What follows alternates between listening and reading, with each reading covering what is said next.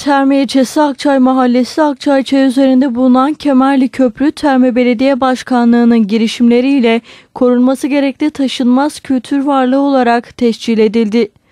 Köprü 1940 yılında Almanlar tarafından 3 kemerli olarak yapılmış, 1965 yılında yaşanan büyük selli bir kemeri yıkılıp 2 kemerli kalmıştı. Kemer Köprüsü'nün restore edilmesiyle ilgili çalışmalar içerisinde olduklarını aktaran Belediye Başkanı Şenol Kul, biz geçmişin mirası üzerine geleceği inşa etmek gibi bir sorumluluğu taşıyoruz.